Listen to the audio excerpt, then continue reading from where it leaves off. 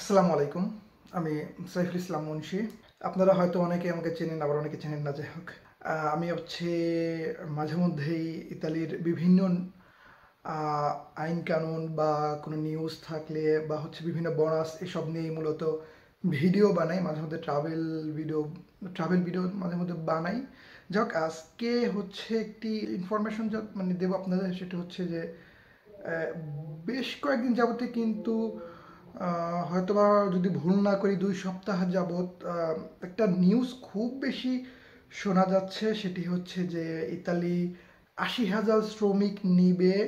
সেই ক্ষেত্রে মানে আমরা কিন্তু মোটামুটি যারা বাংলাদেশে আছে, আমরা অর্থাৎ বাংলাদেশিরা মোটামুটি রেডি যে আমাদের যারা আছে, তাদের আনবে এবং যারা বাংলাদেশে আছে, তারা হচ্ছে মানে ব্যাংক লোন জমি বিক্রি করা বা মানে রেডি করা সব কিছু হিসাব করে টাকারও একটি টাকা আর কি ম্যানেজ করতেছে, তারাও আসার জন্য আসলে প্রিপারেশন নিছে।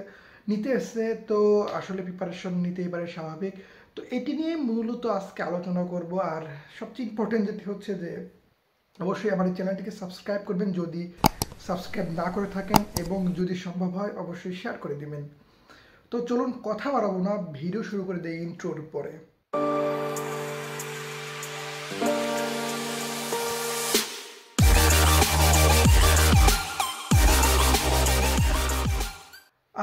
তো যেমনটা বলছিলাম যে কিছুদিন যাবৎ হচ্ছে আমরা শুনতেছিলাম যে ইতালি হচ্ছে আশি হাজার লোক নিবে এবং বাংলাদেশ এমনকি আমি বাংলাদেশের সংবাদ মাধ্যম বলেন টিভি নিউজ বা হচ্ছে গিয়ে আপনার পত্রিকা যেটি বলেন না কেন, যেটিতে, সেটিতে আমি দেখেছি যে বাংলাদেশ সহ হচ্ছে, বাংলাদেশ এই তালিকায় থাকবে ঠিক এমনটাই কিন্তু বাংলাদেশের কয়, বেশ কয়েকজন সাংবাদিক মানে সার্কুলার করে দিচ্ছে তো আমি যতটুকু জানি বা যতটুকু জানি না, আমি যতটুকু দেখেছি যে এখানকার যে নিউজ পেপারগুলো আছে বা বিভিন্ন মন্ত্রীদের যে ফেসবুক পেজ বলেন বা তারা যে সব টিভিতে হচ্ছে যে সব বক্তব্যগুলো দেয়, সেখান থেকে আমি যতটুকু দেখলাম যে মাত্র এটি নিয়ে হচ্ছে একটা আলোচনা হচ্ছে। যেমন আপনার বিশ্বের প্রতিটি দেশেই কিন্তু জানি না আমাদের বাংলাদেশে আছে কিনা হয়তো বা আছে, আমার জানা হয়তো বা না শিওর আছে সরি যে আসলে এই মানে প্রতিটা বিষয় নিয়ে ওনারা হচ্ছে অবজার্ভ করে বা একটা গবেষণা করে যে আসলে এই বছর এই এই যেমন শ্রমিক নিয়ে একটা পার্ট আছে বা মানে বিভিন্ন সেক্টরেই কিন্তু ওনারা অবজার্ভ করে থাকে। তো ইতালিতেও এরকম হচ্ছে বেশ কয়েকটি সংগঠন বা ইয়া আছে, তারা হচ্ছে কি অবজার্ভ করছে যে ইতালিতে হচ্ছে কৃষি সেক্টরে এখনও শ্রমিকের অভাব আছে। তো এইগুলো তারা জানার পরে হচ্ছে গিয়ে তারা মন্ত্রী পরিষদে একটি বিল উপস্থাপন করেছে। অর্থাৎ আমরা যেমন বাংলাদেশে সংসদ বলি, যেটি যে সংসদে কিন্তু একটা গ্রুপ হচ্ছে একটা কোনো কিছুর আবেদন করে, এরপর সেটি নিয়ে হচ্ছে হ্যাঁ বা না ভোট হয়। যদি হ্যাঁ ভোট জয়যুক্ত হয়, তাহলে কিন্তু হচ্ছে তারা এটিকে আর কি অ্যাপ্রুভ করে। তো সেম হচ্ছে ইতালিতেও হয়। ইতালিতে হচ্ছে সিনেটার কামেরা দুটি সেক্টরে তো বর্তমানে হচ্ছে গিয়ে যে এই বিষয়টা আপাতত ইতালির মন্ত্রী পরিষদে আলোচনা মানে হচ্ছে। তবে এখনও যে কনফার্ম যে এটা দিবে সেরকম কিন্তু কোনো হান্ড্রেড পার্সেন্ট নিশ্চয়তা নাই। যে আসলে কি আশি হাজার লোক মানে ইতালি এই মুহূর্তে রিসিভ করবে কিনা। আপনি যদি যদি এই ভিডিওটি কেউ ইতালি থেকে দেখে থাকেন, তাহলে অবশ্যই আমি আপনাকে বলব যে আপনি ইতালির বিশেষ করে বেশ কয়েকজন মন্ত্রীর ওয়েবসাইট আপনি একটু ঘোরেন। আপনি দেখবেন যে আপনি যদি ইতালির অভ্যন্তরীণ, অর্থাৎ ইতালির মধ্যের নিউজগুলো আপনি এখন ফলো করেন, আপনি দেখবেন যে তারা ইতালিকে এখন কীভাবে হচ্ছে ইতালির জনগণগুলোকে মানে থার্ড ডোজ ভ্যাকসিনের নিবে, তারা হচ্ছে সেইটি নিয়ে ব্যস্ত। এরপর শ্রমিকের বিষয়টা নিয়ে আমি জানি না আসলে তারা কীভাবে কি করবে? তবে এই সব বিষয়গুলো খুব মানে একটি ভাবার বিষয় আছে। এরপর একটা গেজেট যখন তারা পাশ করবে সেই গেজেটটিকে হচ্ছে সম্পূর্ণরূপে তারা একদম মানে সিস্টেম করবে যে আসলে যদিও আমরা ফ্লুসিটা আর কি ইয়া করি অ্যাপ্রুভাল করি ফ্লুসি বলতে এটাকে ইতালিয়ান ভাষায় দেখলে তো ফ্লুসি বলা হয় এবং আমরা বাঙালিরা হচ্ছে এটাকে সাধারণত স্পন্সর বা এগ্রিকালচার আহ, বলে থাকি, আসলে আমি একটু বলে নেই আপনাকে এগ্রিকালচার ভিসা কোনটা আর স্পন্সর ভিসা কোনটা? এটা আমার চেয়ে আপনারা অনেক মানে যারা বিদেশে আসার জন্য ঘুরতেছেন, তারা আমার চেয়ে ভালো জানেন, আমি এটুকু শিওর তারপর আমি যতটুকু জানি আপ- আপনাদেরকে বলে দিচ্ছি। এগ্রিকালচার হচ্ছে যে একটি খণ্ডকালীন সময়ের জন্য আপনার ইতালিতে কৃষি মানে কৃষি কাজ হোক বা কিছু কাজ করার জন্য একটি নির্দিষ্ট সময়ের জন্য আপনি ইতালিতে আসবেন এবং আবার আপনি হচ্ছে পিছনে আপনার অরিজিনাল যে দেশটি আছে সেই দেশে আপনি চলে যাবেন। এটিকে বলা হচ্ছে এগ্রিকালচার ইতালিয়ান ভাষায় এটিকে হচ্ছে যে স্তাজিওনালে নন স্তাজিওনালে সরি স্তাজিওনালে নন স্তাজিওনালে তো হচ্ছে গিয়ে, আর নন স্তাজিওনালে যেটি, সেটিকে হচ্ছে আমরা মূলত স্পন্সর ভিসা বা স্পন্সর বিষয় বলি আর কি আমরা, যেটিকে হচ্ছে আপনি এখানে আসবেন, এরপর আপনি আপনার ডকুমেন্টস আপনি কাজের মাধ্যমে সেই ডকুমেন্টসকে রিনিউ করবেন, বছরের পর বছর রিনিউ করবেন। সেই রিনিউ করার মাধ্যমে আপনি কিন্তু এখানে থেকে যেতে পারবেন পার্মানেন্টলি ভাবে। এটিকে বলা হয় স্পন্সর আচ্ছা যেটিকে আমরা মানে যেখানে ছিলাম সেখানে ঘুরে যাই। এরপরে হচ্ছে বেশ কয়েকজন সাংবাদিক সাংবাদিক বলতে হচ্ছে গণমাধ্যম মানে চ্যানেল বা অনলাইন নিউজ পেপার যেগুলোতে আমরা দেখলাম যে বাংলাদেশ সহ, আসলে বাংলাদেশ সহ একটা গণমাধ্যমের ভাষা বা একটা নিউজের ভাষা কখন এইভাবে হয় না আগে থেকে। হ্যাঁ কেউ যদি লাইভে বলে যে হ্যাঁ বাংলাদেশ থাকবে, সেটা করতে পারে। কারণ লাইভের অত একটা ভ্যালু থাকে না হলে হোক, না হলে না হোক। কিন্তু একটি সংবাদ মাধ্যমে যখন এটিকে দিবে, তখন হচ্ছে এটিকে হান্ড্রেড পার্সেন্ট শিওর হয়ে এরপর হচ্ছে দিতে হয়। যেমন আমি একটা আর্টিকেল অলরেডি এটা নিয়ে পড়লাম সম্ভবত ইমিগ্রাসিয়নে পুন্তো নেট অর্থাৎ ইমিগ্রেশন ডট নেট এটি একটি হচ্ছে বিদেশিদের নিয়ে আর কি লেখালেখি হয় এই সাইটটাতে আমি এই সাইটটাতে একটা লেখা পড়লাম, সেখানে দেখলাম যে হয়তো কোনো একজন মন্ত্রী বা কোনো একজন সাংসদ হচ্ছে গিয়ে বেশ কয়েকটা দেশের নাম উল্লেখ করছে যে এই কয়েকটা দেশ থেকে আমরা কর্মী নিতে পারি এরকমভাবে কিছু কথা বলা আছে। তবে তার মানে এই না যে আমরা এইসব দেশ থেকেই নিব। আমি অলরেডি আর কি নিউজে দেখলাম যে প্রাথমিকভাবে এই দেশগুলোকে আসলে বাছাই করা হয়েছে। প্রাথমিকভাবে বাছাই করা হয়েছে এবং সম্ভাব্য হতে পারে এসব দেশ থেকে নিবে। এই কথাটার মধ্যে হচ্ছে যদি মানে আপনি একটু বিশ্লেষণ করেন, তখন দেখবেন যে অনেক মানে একটা বিশাল একটা ব্যবধান আছে কিন্তু। তো কোনো গণমাধ্যমের মানে গণমাধ্যমের ভাষা এরকম হওয়া উচিত না যে এইসব বাংলাদেশ সহ আর কি থাকবে। তারা হয়তো লিখতে পারতো যে হয়তো বা বাংলাদেশ থাকতে পারে, এরকম কিছু লিখতে পারতো। আচ্ছা এবার একটু বলি যে অলরেডি একটা ভিডিও বাই মানে ভাইরাল হয়েছে সম্ভবত ভদ্রলোকের নাম রাফায়েত বা রাফায়েল এরকম কিছু। আমি জাস্ট মনে করতে পারতেছি না যে ভিডিওটা এরকম শুরু ছিল। তোমার কি যেন, দালালের দিন শেষ, তোমার আমার বাংলাদেশ, এক লাখ বিশ হাজার টাকা ইতালিতে। আসলে এক লাখ বিশ হাজার টাকা ইতালিতে এই জিনিসটা আমি আসলে মানে আমার মাথায় কাজ করতেছে না যে এক লাখ বিশ হাজার টাকা সে কীভাবে আসলে এক লাখ বিশ হাজার টাকা। আমি জানি না, ভদ্রলোককে যদি আমার এই ভিডিও দেখার, দেখে থাকেন এবং ওই ভদ্রলোকের ভিডিও যদি কেউ দেখে থাকেন আর তার সাথে যদি কারও পার্সোনালি যোগাযোগ থাকে, আপনি একটু জিজ্ঞাসা করবেন যে এই এক লাখ বিশ হাজার টাকা কোথায় খরচ হয় এবং কাকে দিতে হয়? আমি জানি না আসলে সে কোথা থেকে নিল। যাক এখানে মূলত যদি আপনি অরিজিনাল ভিসার খরচ মানে ভাগাভাগি করেন, যাক, এটা হচ্ছে পরের দর মানে স্টেপ যে যদি ইতালি সরকার এইটাকে অ্যাপ্রুভাল করে এবং বাংলাদেশ সেই তালিকায় থাকে, তবে কিছুদিন আগে বেলজিয়ামে ইউরোপীয় ইউনিয়নে একটি মিটিং হয়েছিল আমাদের বাংলাদেশের পররাষ্ট্র মন্ত্রণালয়ের বা বাংলাদেশ সরকারের উচ্চ পর্যায়ের যেসব কিছু কূটনৈতিক মানে অফিসার আছে তাদের সাথে, কূটনৈতিক ব্যক্তিদের সাথে, সেখানে যে মিটিংটা ছিল, ওই মিটিংটা নিয়ে রাই নিউজ হচ্ছে, আর ইউরো নিউজ খুব সুন্দর করে এই নিউজগুলো আর কি কভার করছে। আমি পড়েছিলাম সেই আর্টিকেলটা এক মানে এক বড় ভাই আমাকে লিঙ্কটা শেয়ার করেছিল। যাই হোক, সেখানকার যদি আমি মানে মনে হইতেছে যে ওই মিটিংয়ের পরিপ্রেক্ষিতে এখানে এবার, এবারও তারা বাংলাদেশকে রাখবে। কিন্তু সেখানে বাংলাদেশের সাথে একটা চুক্তি আছে যে, যেটি আসলে মূলত ইতালি অনেক বছর যাবতই বলতেছে যে ইতালিতে যেসব অবৈধ বাংলাদেশি হোক বা অন্যান্য দেশি হোক, তাদের হচ্ছে তারা ফেরত পাঠাবে ফেরত পাঠাবে। এরকম মানে বলতেছে, তবে আমি এখনও এর মানে কেউ যদি খুব সিরিয়াসলি কোনো অন্যায় না করে, তাহলে মানে না, তা না হলে তাকে পাঠানো হয় না। তবে এই ইমি, অবৈধ ইমিগ্রেশনকে পাঠানো হবে কিনা এই বিষয়ে আমি এখনও কিছু জানি না। তবে এই বছর হচ্ছে গিয়ে একটি যে বেলজিয়ামের যে মিটিংটা হয়েছিল, সেখানে কিন্তু একটি অলরেডি মোটামুটি এরকম একটি আলোচনা হয়েছে যে বাংলাদেশ সরকার হচ্ছে তার অবৈধ লোকদের নিয়ে যাবে, এর যদি নিয়ে যায় এবং ইতালি এক বছর হচ্ছে এটিকে পর্যালোচনা মানে ইউরোপীয় ইউনিয়ন এটিকে এক বছর পর্যালোচনা করবে।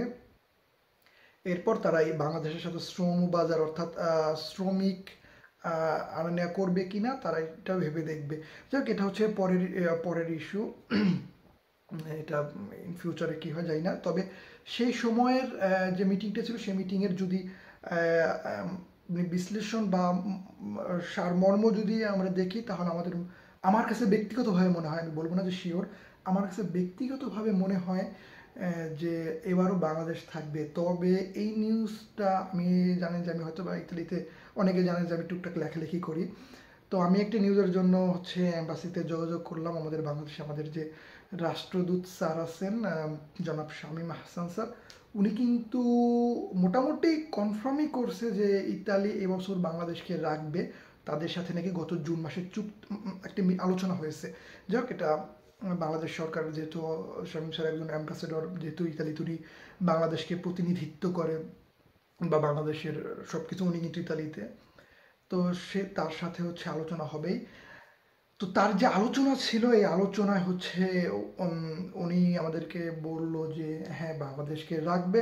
যাক, আমরাও চাই বাংলাদেশকে রাখবে। তবে আমি আমার যে দেশি যে ভাইরা আছে, তাদেরকে বলব হ্যাঁ আপনারা রেডি রেডি হতে পারেন, রেডি হতে পারেন বা প্রস্তুতি নিতে পারেন। তবে সবাই দালাল থেকে সাবধান থাকবেন এবং অলরেডি কিন্তু আমার কাছে বেশ কয়েকটা মেসেজ আছে যে মানে একজনে ওনার চাচার কাছে চাচা মানে এলাকার ভাই, চাচা ওরকম, ওনার কাছে মানে ডকুমেন্টস দিছে, চোদ্দ লাখ, পনেরো লাখ ষোলো লাখ, দশ লাখ, বারো লাখ, আট লাখ, যার থেকে আর কি যা যা নিয়ে পারে, এইভাবে আর কি টাকা নিয়ে অলরেডি টাকা নেওয়া আর পাসপোর্ট নেওয়া লেনদেন শুরু হয়ে গেছে। তো আমি এইসব লোক মানে এইসব ভাইদের বলব যে, আপনারা আসলে এখনই কোনো কিছু মানে ই করবেন না, কাউকে পাসপোর্ট হ্যাঁ আপনারা হয়তো একটা লিঙ্ক আপ তৈরি করতে পারেন যে যদি এটা কনফার্ম হয়, আপনি আমার জন্য কাজ করবেন। আপনারা হয়তো বা এইভাবে একটি লিঙ্ক আপ তৈরি করে রাখতে পারেন, কিন্তু পাসপোর্ট দেওয়া নেওয়া বা টাকা লেনদেন, এটি সম্পূর্ণ আপনার ব্যক্তিগত বিষয়। এটি আপনি কাকে টাকা দিবেন বা কাকে টাকা দিবেন না, সেটির হচ্ছে আমি কেউ না। আপনারা একটু বুঝে শুনে দিবেন। আর সবাই কিন্তু মাথা রাখবেন, হচ্ছে সবাই কিন্তু লোক আনতে পারবে না। হয়তো বা মানে যেসব গত বছরের দুই বিশ সালেই তো দেখলাম যে সর্বশেষ ফ্লুসি যেটি সাত বছর না আট বছর পরে যে কিন্তু দুই বিশ সালে বাংলাদেশকে তারা অন্তর্ভুক্ত করেছিল এই এগ্রিকালচার স্পন্সরে যদি অনেকে এসেছিল মানে আসছে। আর এই, যদি আমরা গতবারে মানে জিনিসটা দেখি, এই বছরে হচ্ছে আশি হাজার লোক আনা হবে, তবে সেটি যে শুধুমাত্র বাংলাদেশ থেকে সেটি কিন্তু না। ইউরোপের বিভিন্ন দেশ আছে, ল্যাটিন আমেরিকার বিভিন্ন দেশ আছে, আফ্রিকার বিভিন্ন দেশ আছে, আমাদের এশিয়ার বিভিন্ন দেশ আছে, অনেক বিশেষ বিশেষ করে অনেকগুলো দেশ থেকে কিন্তু লোকজন আসে। সুতরাং আমাদের বাংলাদেশ থেকেও লোক আসবে যদি বাংলাদেশকে তারা রেখে রাখে। মানে পরবর্তীতে যদি এটা ফাইনাল হয়, যদি তারা লেখে মানে বাংলাদেশকে তারা তালিকা, তালিকাভুক্ত করে, তাহলে যদি আসে, আমার মনে হইতেছে যে এখানে কৃষি খাত হান্ড্রেড হান্ড্রেড পার্সেন্ট থাকবে। এটি আমার ব্যক্তিগত মতামত। কৃষি খাত হান্ড্রেড হান্ড্রেড পার্সেন্ট থাকবে। এরপর হচ্ছে ভারী পাসপো ভারী লাইসেন্স অর্থাৎ ইউ আপনার যেই সব দেশের লাইসেন্সগুলো ইউরোপ অ্যাপ্রুভ করে, অর্থাৎ ইতালি সরকার অ্যাপ্রুভ করে, ভারী লাইসেন্স বলতে আমি যেটি বলতেছি যে বড় বড় ট্রাক আছে না, সে বড় বড় ট্রাকগুলোর কথা বলতেছি। বড় বড় ট্রাক যেসব ট্রাক যারা, যেসব লোকগুলো চালায় এবং ওই সব লাইসেন্স যাদের আছে, বাংলাদেশ কিন্তু অ্যাপ্রুভ করে না, বাংলাদেশের লাইসেন্স ইত্যাদিতে অ্যাপ্রুভাল অ্যাপ্রুভ নাই মানে অ্যাপ্রুভ করে না ওরা পারমিশন দেয় না। যেমন আপনি হয়তো দুবাই দেয়, আমার যা যতটুকু আমি যতটুকু জানি, আপনি অনেক বাঙালি কিন্তু মধ্যপ্রাচ্যের বিভিন্ন দেশে আছেন, সিঙ্গাপুরে আছেন তাদের যদি এই সব ট্রাকের লাইসেন্স থেকে থাকে, তারা কিন্তু আবেদন করতে পারবে। আর হচ্ছে আলবেরগো, যেটিকে আমরা হচ্ছে মানে আমাদের ইংলিশে হোটেল বা বাংলায় যেটি আর কি হোটেল বলে থাকি, হোটেল মানে থাকার হোটেল, আবাসিক হোটেল হোটেল এইসব মানে যাদের আছে তারা হচ্ছে আনতে পারবে। এটি হচ্ছে গতবারের মানে সিস্টেম অনুযায়ী এই বছর এখনও এইটা নিয়ে জাস্ট মন্ত্রী পরিষদে আলোচনা হচ্ছে, এছাড়া কিচ্ছু না। সুতরাং কোন কোন সেক্টরে আসবে, কোন কোন সেক্টরে আসবে না, কারা কারা আনতে পারবে, কারা কারা আনতে পারবে না, বাংলাদেশ থেকে কত আসবে, কত টাকা খরচ যাবে মানে এক্সেট্রা এক্সেট্রা এক্সেট্রা এগুলো কিচ্ছু এখনও শিওর দিয়ে কোনো কিছু বলা যায় না। এই আর কি ছিল মূলত বলার, তবে এখানে কিন্তু সালবিনী আমাদের যে সাবেক স্বরাষ্ট্রমন্ত্রী, সে কিন্তু অলরেডি একটা ভেটু অর্থাৎ সে কিন্তু অলরেডি বাধা দিয়ে দিছে। শুধু সালমিনী না, বেশ কয়েকজন, আর সালমিনী তার কাজ বাধা দেয়া, সে বাধা দিবেই। সে যে বাধা দিবে তার মানে হবে না, তা না। এরপরে হবে, যদি আর কি ইতালি সরকার মনে করে। সালভিনি তবে সালভিনি আরও ইতালির মন্ত্রী পরিষদের বেশ কয়েকজন কিন্তু আপাতত এটা বলতেছে যে আমরা আগে ইতালিতে আপনি হয়তো জানেন কি না জানি না যে করোনার পরে করোনার মানে বর্তমানে তো চলতেছে আর ইতালির অবস্থা কীরকম ছিল এটি সবাই জানেন। এই করোনার পর পরবর্তী সময়ে হচ্ছে গিয়ে অনেক ব্যবসা প্রতিষ্ঠান আমাদের বাঙালির কিন্তু অনেক ট্যুরিজম সেক্টর অর্থাৎ বিভিন্ন যেমন গর গ্রীষ্ম গ্রীষ্মকালে হচ্ছে গিয়ে আহ, সমুদ্রের পাড়ি অনেক বাঙালি ব্যবসা করে বা অনেক বাঙালির দোকান আছে, ইয়া আছে। আসলে এরা কিন্তু অনেকেই তাদের নিজেদের কাজগুলো হারিয়ে ফেলেছে বা অনেক ব্যবসা প্রতিষ্ঠান কিন্তু দেউলে হয়ে গেছে। অর্থাৎ অনেকেই কিন্তু ইতালিতে মানে কাজ ছাড়া বর্তমানে, চাকুরি ছাড়া। তবে এসব তারা ছাড়া মানে যে ছাড়া তা না, তাদের কিন্তু সরকার একটি প্রোটেকশন দিতেছে অলরেডি রেজিত দিচ্ছিতে দিনাংসা আছে। এবার বিভিন্ন সময় বোনাস আছে বাসা ভাড়া মানে বোনাস আফিত আছে। মানে বোনাস একটা একটা আছে ইতালিতে, তার মানে কোনো কর্মী এখানে না খেয়ে থাকেন আপনি, সেটা নিয়ে ভাবার কিছু নাই। তো ইতালি সরকার চাচ্ছে যে এখন যারা ঘরে বসা আছে, এখন যারা ঘরে বসা আছে, তাদের হচ্ছে আগে মানে কাজ দিবে। এরপর হচ্ছে গিয়ে কোন কোন সেক্টরের লোক লাগবে, তাদের হচ্ছে বাইরে থেকে আনা হবে। আর আমি সবাইকে বলব যে অবশ্যই আপনারা দালাল থেকে সাবধান থাকবেন এবং কারও ফাঁদে কেউ পা দিবেন না। সবাই হচ্ছে আগে সুন্দরভাবে সব কিছু উপস্থাপন হোক। মানে সবগুলো ডিগ্রি, ডিগ্রিটা বের হোক, বের হওয়ার পর আসলে আপনার গেজেটটা বের হওয়ার পর সবাই জানতে পারবেন যে কোন কোন সেক্টরে নিবে, কত লোক নিবে, কীভাবে নিবে মানে সবগুলো জানতে পারবেন। এই আর কি আজকের এই ভিডিওটি নিয়ে আলোচনা করার ছিল যে আপাতত জাস্ট মন্ত্রী পরিষদে আলোচনা হচ্ছে, যখন এটি বের হবে তখন মানে আমাদের ভিডিওর আগে আপনারা পেয়ে যাবেন, খবরের নিউজ আপনাদের কানে চলে যাবে। অলরেডি যেহেতু আলোচনা চলতেছে, আপনারা শুনে মানে আপনাদের কানে চলে গেছে যে অলরেডি ইতালি লোক নিচ্ছে। সেহেতু যখন নিবে, নেওয়া শুরু করবে, তখন আমাদের আগে আপনারা জানতে পারবেন এইটুকু আপনারা মানে আমি আপনাদের নিশ্চয়তা দিতে পারি। তো আজকের ভিডিওটি এই পর্যন্তই ছিল, আর সর্বশেষে একটি কথা বলে যাই হয়তো একটি ভবিষ্যতে মানে হতে পারে যে এই যে ফলুসিটা যদি এটি কন্টিনিউ থাকে, তাহলে হয়তো ইতালিতে যারা আছে, তাদের একটু থাকতে সমস্যা হয়ে যাবে। আপনি জানেন কিনা জানি না যে দু হাজার একুশের মার্চ মাসের পরে ইতালিতে যারা আছে, অবৈধভাবে ঢুকেছে, তারা কতজন ডকুমেন্টস পাচ্ছে বা পেয়েছে, আপনি একটু জাস্ট এই ক্যালকুলেশনটা একটু করেন বা আপনার আশেপাশে যেহেতু আগে তো শুনতেন যে এই কমিশন দিয়ে কাগজ পেয়েছে এই কমিশন দিয়ে কাগজ পেয়েছে সে দুই হাজার একুশের মার্চের পরে কতজন মানুষ ডকুমেন্টস পেয়েছে কমিশন দিয়ে? জাস্ট হ্যাঁ মানে আগেরটা না, এর কমিশনের রেজাল্টের কথা বলছি ডকুমেন্টস মানে রিতেরারের কথা না আম, আমি এই বিষয়ে কিছু বলব না জাস্ট এটা হয়তো বা আমি বলতেছি যদি ফ্লুসিটা কন্টিনিউ থাকে। অর্থাৎ যদি বাঙালিরা বাংলাদেশ থেকে সরাসরি এখানে আসার এই মাধ্যমটা চালু থাকে ইতালিতে যেসব বাঙালিরা আছে তাদের জন্য একটু সমস্যাই হবে। হয়তো পারে হতে পারে আর কি। যা হোক সবাই ভালো থাকবেন সুস্থ থাকবেন সবাই একটু মানে সতর্ক সতর্কতার সাথে থাকবেন। কেউ দালালের ফাঁদে পা দিবেন না। আজকের ভিডিওটি মূলত এগুলোই ছিল। যাই হোক আল্লাহ হাফেজ